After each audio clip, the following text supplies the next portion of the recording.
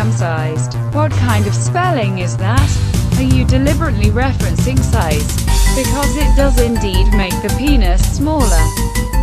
Circumcised. What kind of spelling is that? Are you deliberately referencing size?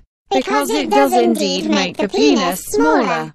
Circumcised. What kind of spelling is that? Are you deliberately referencing size? Because it does indeed make the penis smaller. Circumcised. What kind of spelling is that? Are you deliberately referencing size? Because it does indeed make the penis smaller.